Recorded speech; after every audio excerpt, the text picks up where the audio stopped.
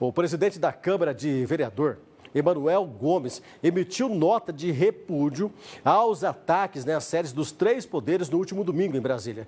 Sora Barros, chegou a haver boatos de que teria vereador preso por lá, isso se confirmou ou não?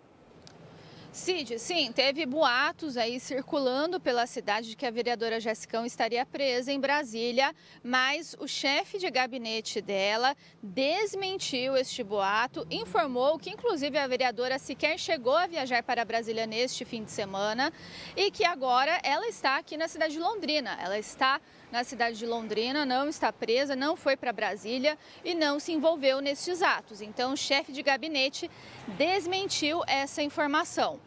Vale ressaltar também que houve então uma manifestação da Câmara de Vereadores a respeito então desses atos de vandalismo que aconteceram no último domingo.